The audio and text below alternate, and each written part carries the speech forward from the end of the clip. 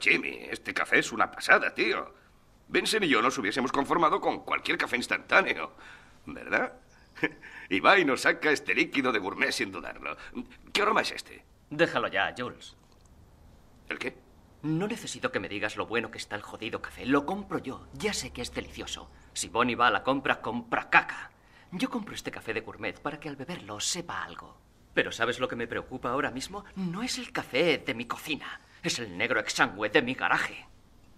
Jimmy, no. No, no, no, no, no necesito que me digas nada. Contesta solo a esto. Cuando te plantaste aquí, ¿leíste algún cartel frente a mi casa que dijera carroña negra? Jimmy, ¿sabes que no hay ningún ¿Leíste algún cartel frente a mi casa que dijera carroña negra? No. Ninguno. ¿Sabes por qué no viste ese cartel? ¿Por qué? Porque no lo hay. Recolectar negros muertos no es mi puto negocio, por eso. No vamos a No, no, no, no, no, no, no, es que no te das cuenta, hombre, de que si Bonnie vuelve ahora mismo y encuentra un cadáver en su casa, ¿querrá que le dé el divorcio? Nada de asesores ni de separación temporal me pediría el puto divorcio, ¿vale? Y joder, yo no tengo ganas de divorciarme.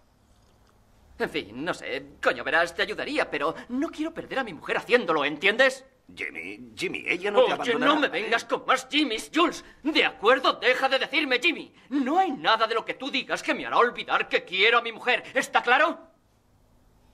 Verás, ella estará de vuelta del trabajo dentro de una hora y media. Tiene el turno de noche en el hospital. ¿No debes llamar a algún sitio?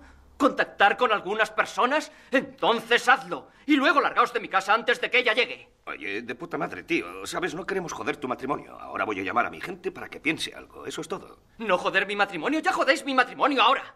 Y lo vais a joder para siempre si Bonnie vuelve a casa. Así que hazme ese favor. El teléfono está en mi dormitorio. Sugiero que lo utilices ya. En caso de que ella volviese, ¿qué crees que hará?